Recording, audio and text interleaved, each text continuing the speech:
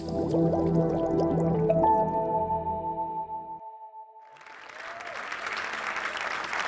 right, on. I'm really happy to be here and um, uh, just uh, integrating my two, uh, two primary passions in life integrating cannabis and psychedelic allies, and regenerating agriculture and creating a society that lives in harmony and balance with nature. Um, so, my granddad was Dr. Bronner, um, and he founded our company as a nonprofit religious organization to, um, to promote his belief and his insight that all faith traditions at their core are praying to the same divine source. We're all children of that same transcendent mystery.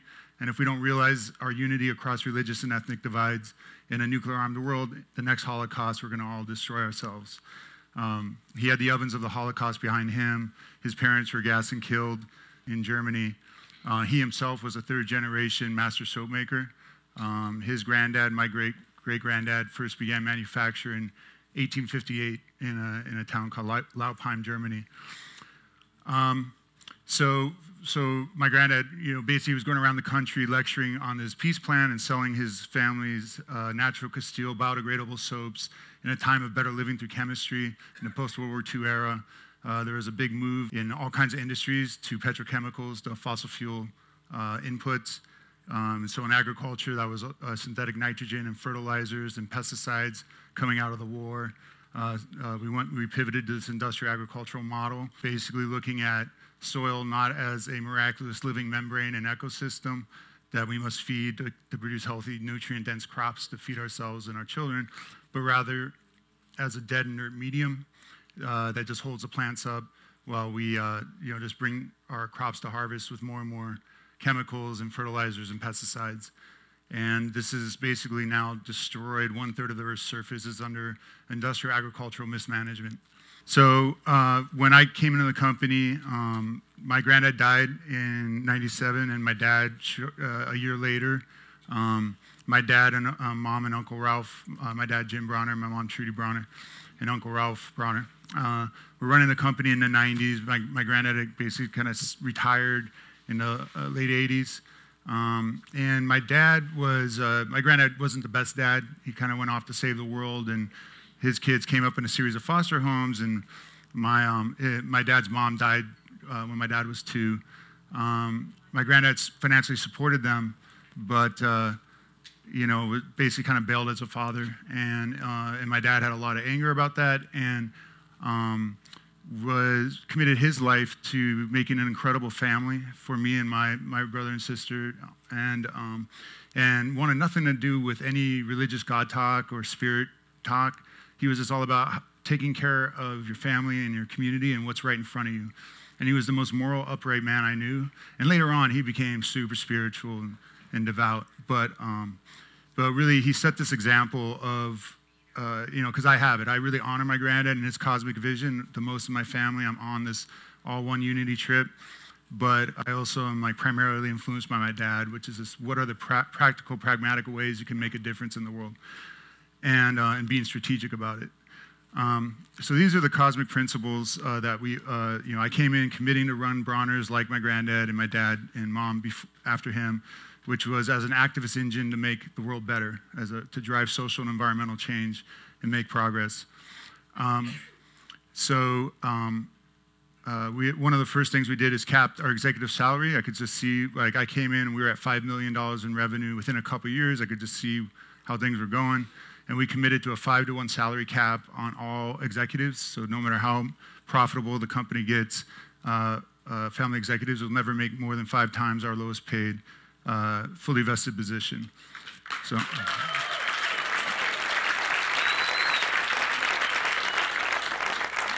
Um, and so this past year, we crossed 122 million in revenue. Um, we're poised for another whole wave of growth, but I'm not going to ever make more than I made uh, 20 years ago. And so basically, all the profits we don't need to reinvest in the business are dedicated to the causes and charities and efforts that we believe in. Um, that,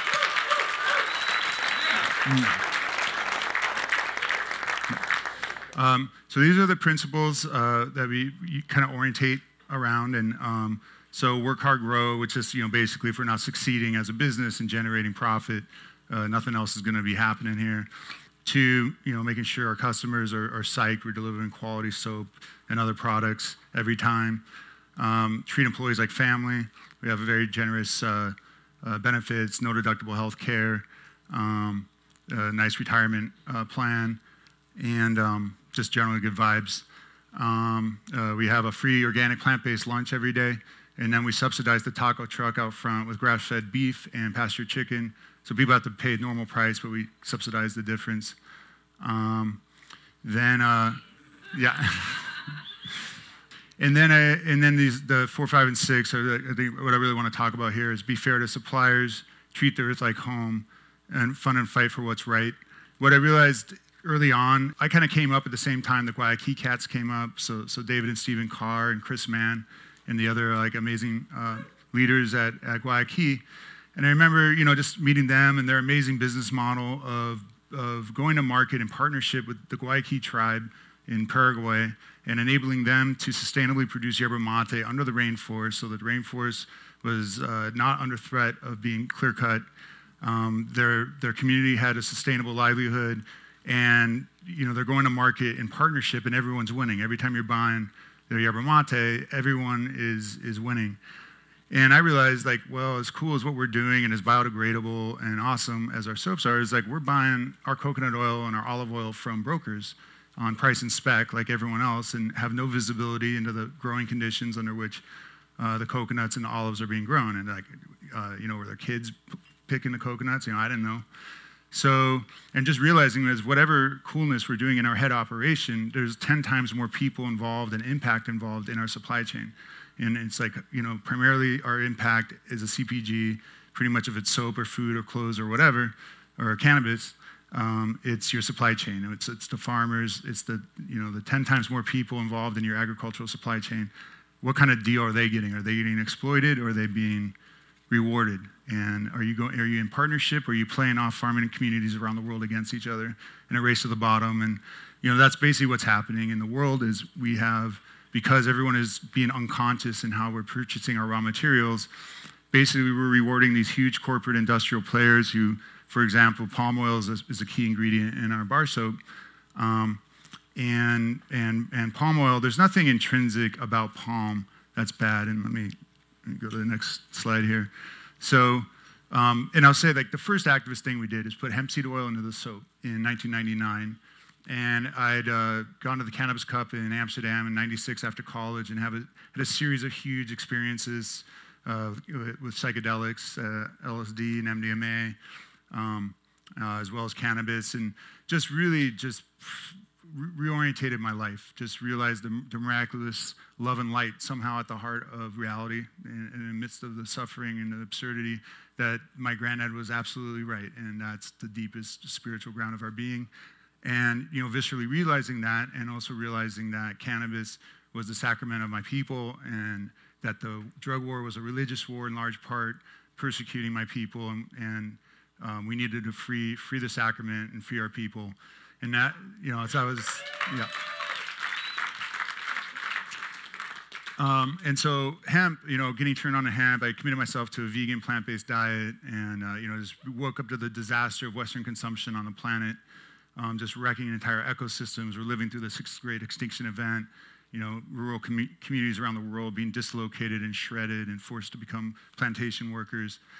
Um, that hemp was great. It was like at the nexus of, of reforming cannabis and drug policy, uh, you know, moving, integrating psychedelics and cannabis as sacred allies. And then as far as the drugs, harder drugs, that we need to treat addiction as a health problem and move to a compassionate health-based system and not criminalize uh, addiction and rather treat people rather than destroying their lives in, uh, with our drug policy.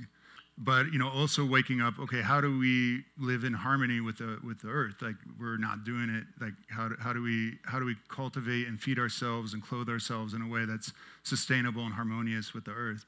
And so hemp was great. It's like right there at the nexus of both issues. You know it's the most absurd example of an out of control drug war that would criminalize a non-drug agricultural crop. As a schedule one substance.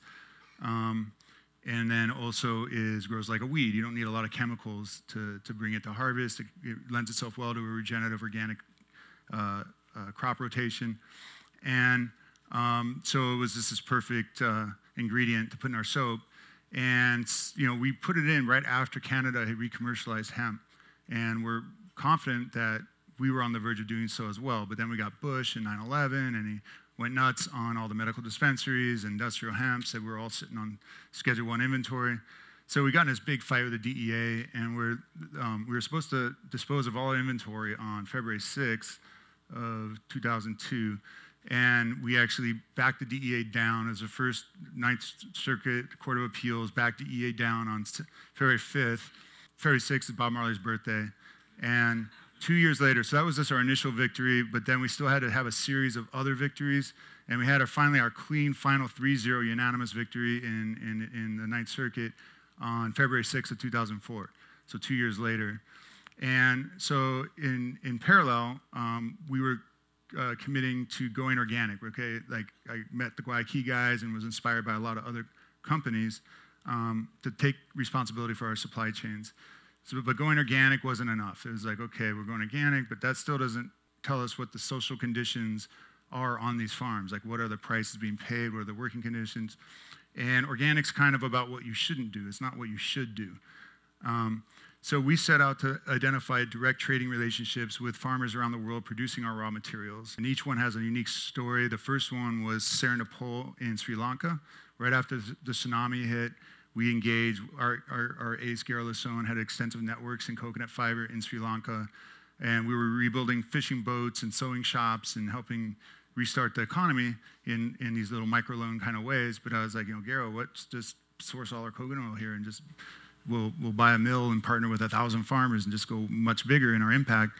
So, uh, so we basically did that and uh, founded Serendipol with some really good local partners there. And, um, and uh, at this point uh, are the number one exporter of virgin coconut oil out of Sri Lanka, or of organic virgin coconut oil. Um, and yeah. So, um, and, and we were doing, uh, you know, we set up a huge compost program. We brought in experts to help the farmers like uh, implement best regenerative agricultural uh, techniques. Um, you know, what, what nitrogen fixing cover in, intercropping and what kind of crops do well with coconut and, um, you know, just, just getting them uh, nutrients and, and fertility in a really regenerative way. Um, and then palm oil, so palm oil being a very controversial crop, and realizing what hemp, like hemp symbolizes a way, it's not in and of itself the answer to our problems, but it symbolizes sustainable regenerative agriculture at its best. But cannabis and hemp, as we all know, can be grown in a very unregenerative, not great way. It can be just grown in, indoors, under lights, fossil fuel intensive, chemical intensive. Palm oil, it, likewise, can be grown in, a, in, an entirely regenerative way as well. Uh, it's a um, it's a great crop. Um, it uh, actually produces more oil per acre uh, than any other, and if it's grown in a, in a regenerative way, it's actually really good. And we actually are now uh, got religion around dynamic agroforestry, which is where you uh, companion crop complementary tree species that replicate, replicate a natural ecosystem.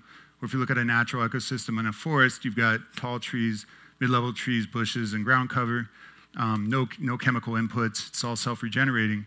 So if so, we have palm and cocoa and banana and cassava, which is a ground cover, and planting that in a smart, like plant, understanding how the canopies fill in with the right distances between them and, and intensive pruning. Uh, we're actually doubling the biomass, doubling the yields, doubling the incomes as doing these monocultures uh, of palm or of cocoa or banana, which are all very, very problematic when grown in a monoculture. But when you grow them in a smart interplanting, it actually minimizes weed and pest pressure. And you're, you know, you've got pollinator habitat and, and, and biodiverse habitat for wildlife. And it's just a win. Um, and uh, olive oil coming out of uh, Palestine, we got 90% from the Palestinian side, 10% from the Israeli side. We got, and on the Israeli side, we're half Jewish, half, yeah, it's a Jewish family farm and an Arab Christian project, and then 90% Muslim Palestinians the, in the West Bank. So Muslim, Christian, Jewish olive oil in our soap, all regenerative and really awesome. Yeah.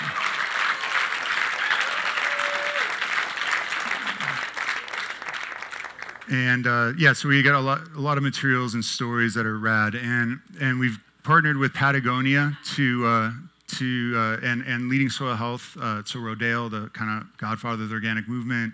Um, uh, Compassion in World Farming um, on animal welfare, pasture-based livestock criteria, like how do you how do we raise and kill animals in a way that they get to live a life they were evolved to live, um, and not a, a, horse show where the best day of their life is their last, which is generally 99% of animals in this country are just you know living just in horrible conditions. It's an environmental nightmare. We're force feeding them GMO grains.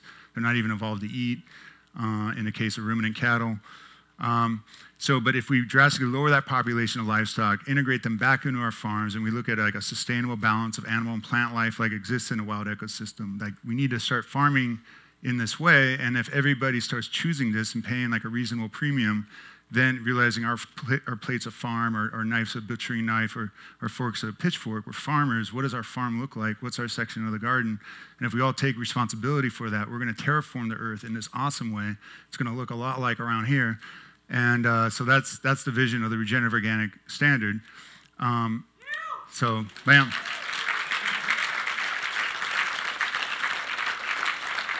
Um, and but because of federal prohibition, um, cannabis farmers can't access a program with the term organic in it. So, uh, you know, we, we've been investing millions of dollars uh, uh, uh, uh ending cannabis prohibition, first medical cannabis, and then and then in you know 2012 in Colorado and um, uh, Washington, we broke through finally after the 2010 uh, uh, Prop 19 uh, fiasco. But that also really showed the triggered the first national conversation about ending cannabis prohibition. That wasn't a big joke. Um, and uh, you know, and then and in 2014, Adam Eidinger here, who's our director of social action, was the campaign manager in D.C. that legalized weed in the nation's capital, talking, of course, to our national leadership. Um, and then in Oregon and Alaska, and then 2016, of course, here and a whole bunch of other states. Um, but with legalization, we saw these big corporate players moving in, displacing the small farmer ecosystem. Cannabis is just another flower, just like every other commodity. Is now we're seeing the same pressures coming in. So Sun and Earth is coming together, seeing, finding Flow Kana, reading Mikey, like, whoa, wow, this is the Dr. Bronner's of cannabis. This is exactly what we do with coconut oil in Sri Lanka. You know, we, we, we partner with farmers. We bring all the efficiencies at post-harvest. Um, you know, find customers. We're a big customer, but we're not the only customer. We have like 20 other customers. And um, so this was exactly the model we were looking for. And so Flow Kana, with them and leading farmers, uh, helped develop the Sun and Earth certified standard. Um, and this is, and then to promote it correctly, um, uh, we, uh, so these are the, the board members. Uh, so Certified Kind and Cannabis Conservancy were the, the kind of key certification partners, and then the farmer partners here, um, and, uh, and ourselves in Flow Kana. Um, but yeah, so it's all about certifying rock star farmers. That's like rock, you know, regenerative organic, certified rock. We're certifying rock star farmers, and that's what Sun and Earth is doing. You know, we're going to partnership. We're celebrating our farmers and their flowers and, and their vibration, and it's a, it's a beautiful thing.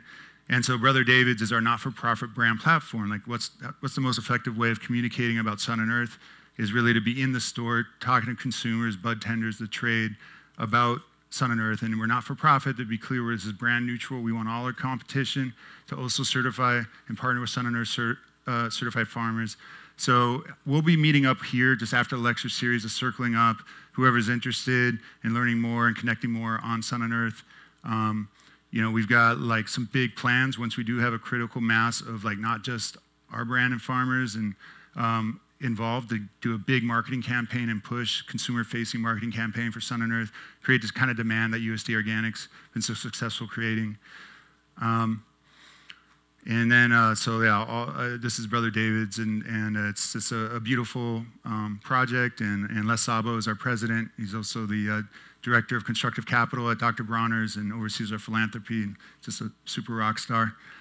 Um, and uh, so then another big thing we're doing here is my family is dedicating a million dollars a year to uh, uh, ending cannabis prohibition. So 2020, um, our dream is 20 more states uh, will will legalize recreationally or medical.